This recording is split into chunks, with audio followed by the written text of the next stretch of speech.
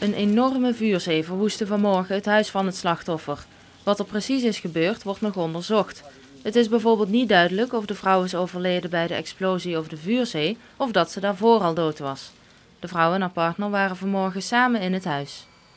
Wat merkt u vanmorgen? Een enorme knal. En, uh, en uh, net als een container uh, grind leegschudden.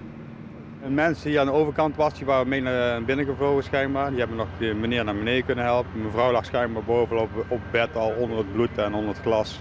Vanmorgen om kwart over zeven is er een uh, melding binnengekomen dat er uh, in de woning een uh, explosie plaats had gevonden. vervolgens is er een uitslaande brand ontstaan. Buurbewoners zijn de woning nog in geweest. Die hebben de bewoner uit de woning weten te halen. En inmiddels is duidelijk geworden dat er in de woning ook een dodelijk slachtoffer ligt. In het huis woonden ook twee kinderen. Zij waren vanmorgen niet in het huis en worden nu door familie opgevangen. De man die in het huis woonde heeft de ontploffing mogelijk bewust veroorzaakt. De bewoner is in het, in het ziekenhuis aangehouden nadat hij is gecontroleerd.